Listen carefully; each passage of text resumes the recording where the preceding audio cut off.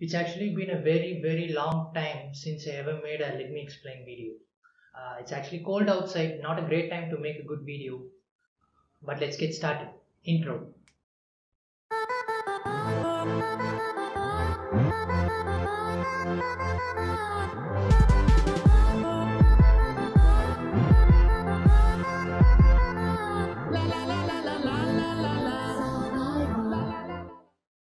What is up techies? Vicky from the Elementon back with another video and in my last review, the K8 Note, I told you I'll make an explanation about what is a dual camera. Here we go. So before getting into the explanation, I assume you are aware of the basic concepts like aperture, shutter speed, ISO and depth which are quite important for you to know about dual cameras. Uh, if not then let me know on the comments below and I will make a separate video on them quite soon. Smartphones got evolved from like time to time packing in features which otherwise would have been possible only with a dedicated piece of technology or device. For instance, in 2014, smartphones came out with large and high quality displays. As a result, people started consuming media in their phones rather than a dedicated desktop monitor. So, phones replacing monitors, not completely, but to an extent. 2015 Biometrics Apple was the first to introduce its iPhone 5s that featured Touch ID which could unlock the phone as well as make secure payments. Now, almost all the phone has fingerprint sensor. Then 2016, the micro USB Type B port got replaced by Type C connectors. Uh, not just phones, your laptops and some external GPUs. Uh, Type C also facilitated fast charging like the OnePlus Dash Charge and Moto's rapid charging to name a few. The transition between 2016 to 2017 saw two events. The loss of headphone jack and the concept of dual cameras, both brought in by the very same company. Fast forward now to the end of 2017, dual cameras are everywhere, right from the budget phone like the K8 Note to flagships like the iPhone 10. So, what are dual cameras? As the name suggests, you have two lenses. The primary lens does most of the work, and the secondary lens sort of collects some extra information about the scene in order to enhance the overall quality of the picture. As simple as that. The concept of dual camera was not brought in by Apple for the first time. In 2011, HTC came out with the Evo 3D, a smartphone where people saw two lenses at the back of a single phone for the first time.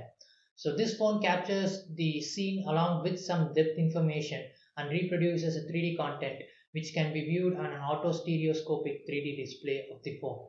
Uh, people can view the 3D content without the use of 3D glasses. Uh, that did not come out well as expected because uh, people are not interested to view the mind-blowing 3D on a small screen. The next innovation came out in 2014 by the very same company. The HTC One M8 also had dual cameras which they dubbed to be ultra pixels. So the first camera captures the entire scene at some short aperture and the second camera captures the subject alone at a relatively larger aperture and then the software blurs out the background to give you the bokeh effect. The process was completely done by software so you can focus the subject even after taking the photograph. That was very innovative but not perfect because of lagging technologies like machine learning. The next type of dual lens system was for those wide angle shots. The first phone to get this feature was the LG G5 which is also the first phone to introduce the modular concept. So this phone has two cameras. The first camera would capture the regular photo and the second camera would capture super wide angle shots like those fisheye effects which you would see on a GoPro. The field of view for LG G5 was about 135 degrees and they captured the entire landscape without the loss of data. The third type of dual lens system were those monochrome ones in the Huawei P9 featuring the Leica cameras.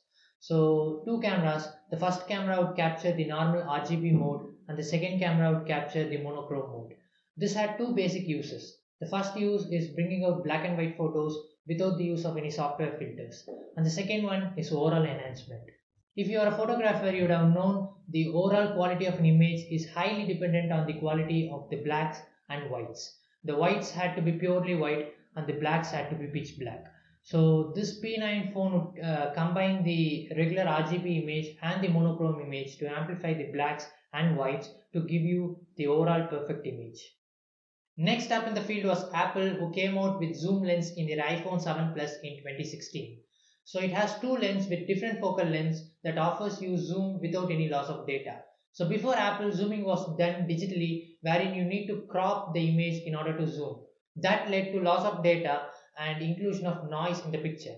But when it comes to Apple, the first lens would capture the normal image and the second telescopic lens would offer you two times zoom. Apart from zooming, Apple also had this bokeh effect similar to the HTC M8 which they termed to be portrait mode. But this time it has got a lot better. So that is all about the dual cameras till now. But what about the future? We had few hints about what would be the next type of dual camera phones. It would be mostly based on VR and AR functionality. We have phones like the Lenovo Phab 2 Pro that offers AR a lot easier and better. We also have the Asus Zenfone AR that is specifically built for augmented realities. With all these years of dual cameras, I think that's not a gimmick like the 3D cameras. But what do you think? Comment them below. So that's basically my explanation on what are dual cameras. It's almost the end of 2017 and I wanted you guys to guess in the comment section below of what would be the next big thing of 2018. Now that you know about what is a dual camera, all I wanted you to do is share it with others and then hit this circle with my face on it and click on that subscribe button and the bell icon if you haven't already. Also be sure to follow me on any of these social media pages on which I'll be active all the time. You can shoot me your questions and get updated with the latest technology I know about which I couldn't make a video like this. That's been it. Thank you so much for watching and I'll see you soon.